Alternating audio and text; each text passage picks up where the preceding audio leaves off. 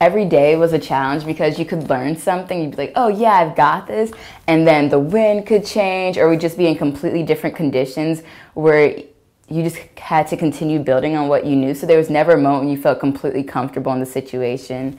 Um, for example, we worked on tacking and jibing the day before, and then I had to steer and we ended up having to go through 10 foot waves. So I was like comfortable tacking and jibing, but then you put me in 10 foot waves and it was something we had never gone through before. So it's like, I know like what this is supposed to be like, but the conditions had completely changed. So it was just always like challenging you.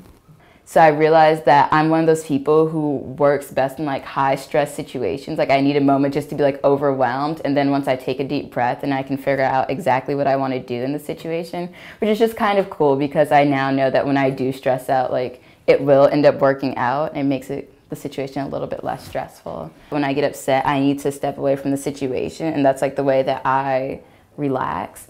And on a 30 foot boat, you can't really do that, or you're like stepping away from the situation is like going on the bow or like during anchor watch. So I think it was just like learning to push through those frustrations and not necessarily being able to walk away.